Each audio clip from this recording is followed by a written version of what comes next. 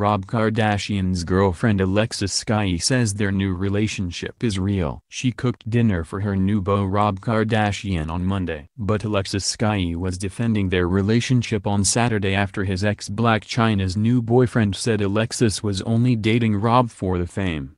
Rapper Kid Buu commented on an Instagram post of Alexis getting out of a car with the question you really with Rob's fat ass for love or is it just for clout? And the 24-year-old responded, to answer your question. I love Rob. Before her declaration of love, Alexis threw shade at Kid Buu's relationship with Blac Chyna by asking, are you with Chyna to sell her coke, or just to sniff it with her? Meanwhile, it was claimed that Blac and Alexis's feud at a recent party was solely over Rob, reported TMZ. Sources close to the women alleged that Blac invited Alexis to a house party so she could set the record straight about the Love and Hip Hop star's past dalliances with Rob, which she found inappropriate.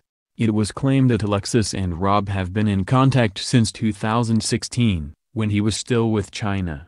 Chyna reportedly wanted to clear the air between the pair but Alexis reportedly lost her temper during the discussion, leading Chyna to throw a drink at her.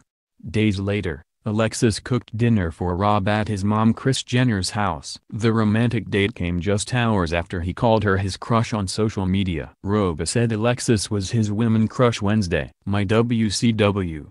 I've been wanting you for so long, he wrote over a photo of Skyy on Monday. Rob and Chyna began their on, off relationship in January 2016, before finally calling it quits in July 2017. They share two-year-old Dream while Alexis shares one-year-old daughter Alaiya Grace with rapper Fetty Wap.